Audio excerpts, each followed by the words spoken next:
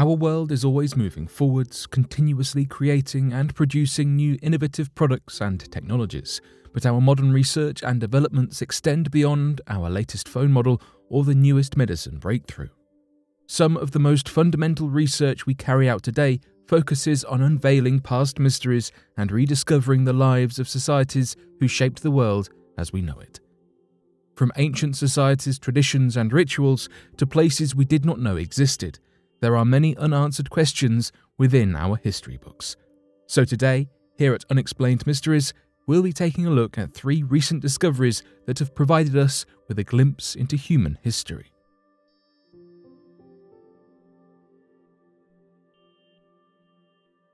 The Carancas Impact Event The Carancas Impact Event refers to the fall of the Carancas chondritic meteorite on the Earth's surface.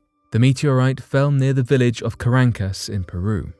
The location of the fall was close to the Bolivian border and Lake Titicaca. The fall created a small crater impact on the clay soil and scorched earth around its location. A local official named Marco Limache observed that boiling water started coming out of the crater and particles of rock and cinders were found nearby, as fetid, noxious gases spewed from the crater. The surface impact was above 3,800 meters.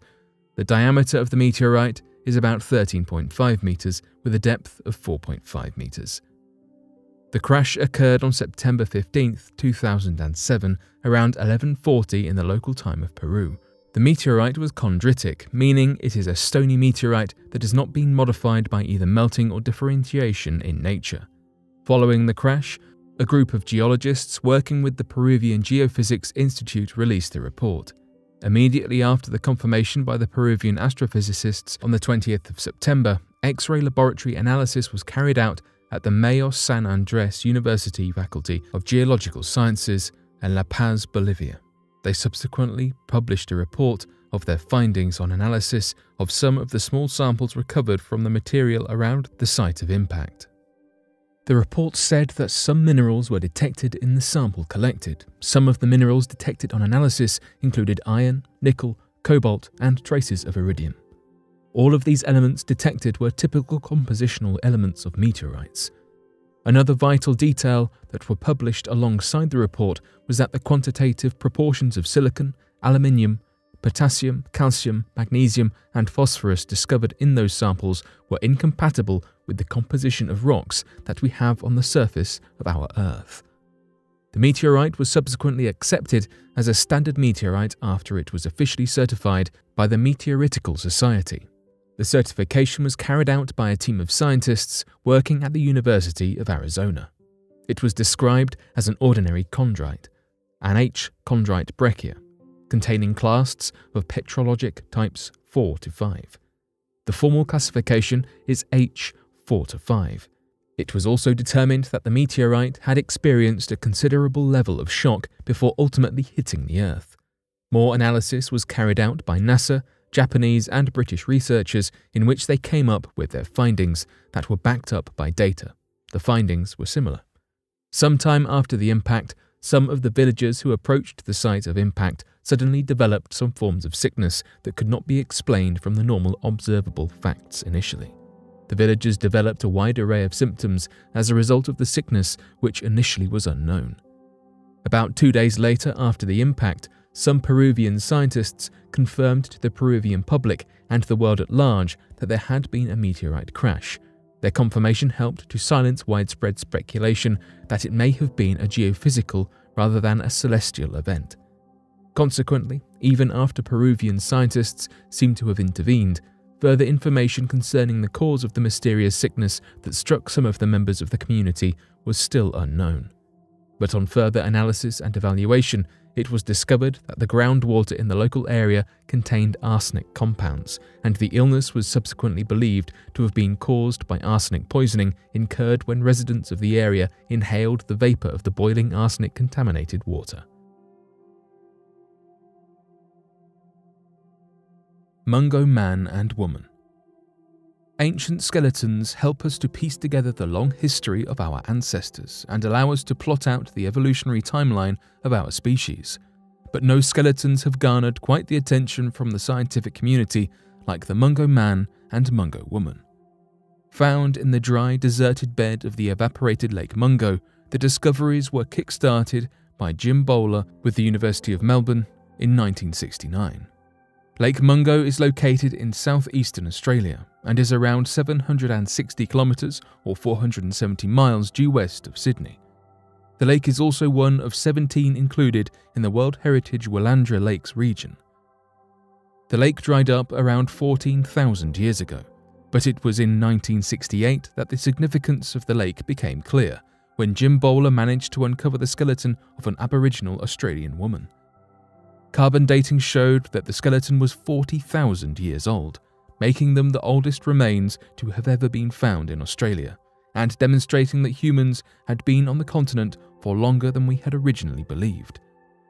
The bones of the Mungo woman were also burnt, which also makes the discovery the earliest known example of cremation and ceremonial burial anywhere in the world. Amazingly, in 1974, Bowler found another skeleton, this time belonging to a male. The Mungo Man was similarly found to have come from the same period as the previous skeleton.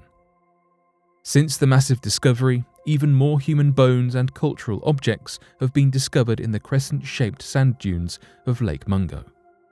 The reason why this area is so significant to archaeologists is because it offers a detailed fossil record of Aboriginal life in the region. Scientists are able to observe how people adapted to the changing climate of the day, as well as the drying of Lake Mungo.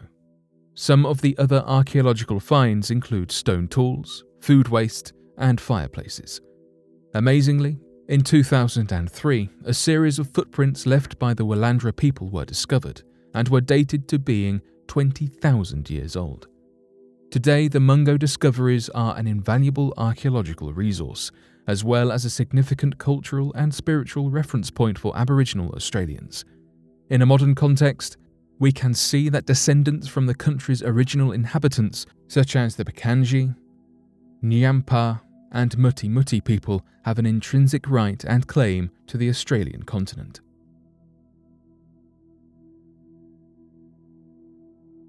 Mungo Man and Woman Ancient skeletons help us to piece together the long history of our ancestors and allow us to plot out the evolutionary timeline of our species but no skeletons have garnered quite the attention from the scientific community like the Mungo Man and Mungo Woman.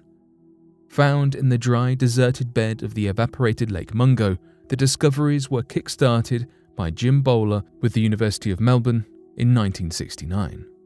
Lake Mungo is located in southeastern Australia and is around 760 kilometres or 470 miles due west of Sydney.